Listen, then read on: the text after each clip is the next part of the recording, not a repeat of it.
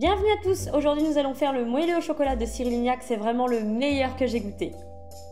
Pour cela il vous faudra 120 g de beurre, 200 g de chocolat, 4 œufs, 150 g de sucre et 80 g de farine. Vous allez d'abord couper le chocolat en morceaux, vous allez y ajouter le beurre coupé également en morceaux, puis vous allez chauffer le tout au micro-ondes ou au bain-marie. J'ai opté pour le micro-ondes en chauffant 3 fois pendant 30 secondes et en mélangeant à chaque fois. Préchauffez ensuite votre four à 180 degrés.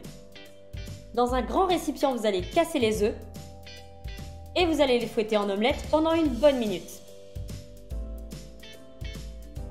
Vous ajoutez le sucre et vous fouettez pendant 3-4 bonnes minutes pour incorporer de l'air afin d'augmenter le volume de la préparation. Ajoutez à notre préparation le chocolat et le beurre fondu et mélangez jusqu'à homogénéité, mais sans trop mélanger non plus pour ne pas faire retomber la préparation.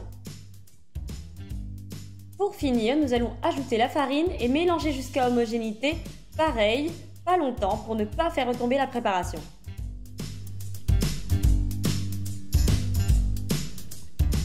On va beurrer notre moule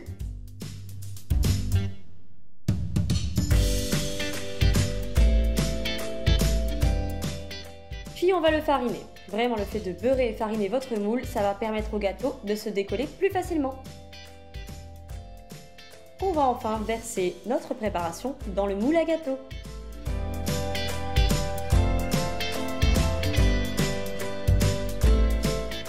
C'est parti pour une cuisson à 180 degrés pendant 20 minutes. Après la cuisson, vous allez sortir le gâteau du four et le laisser refroidir 5-10 minutes. Vous allez ensuite pouvoir le démouler. Comme vous pouvez le voir, il est facile à démouler. il a pris un peu de volume grâce à l'air qu'on a incorporé dans le gâteau. Et regardez-moi le résultat. Le gâteau est vraiment bien moelleux. Il est très bon. Vraiment, c'est le meilleur que j'ai goûté. Dites-moi ce que vous en pensez.